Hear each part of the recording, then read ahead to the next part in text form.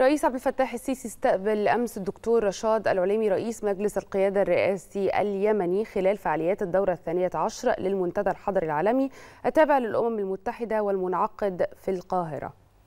أكد المتحدث الرسمي باسم رئاسة الجمهورية أن الرئيسين ناقشا أهمية الأمن والاستقرار في اليمن وضرورة دعم الجهود الدولية للتوصل إلى حل سياسي شامل للأزمة اليمنية لما يمثله ذلك من أهمية لمصر ولأمن المنطقة العربية ومنطقة البحر الأحمر.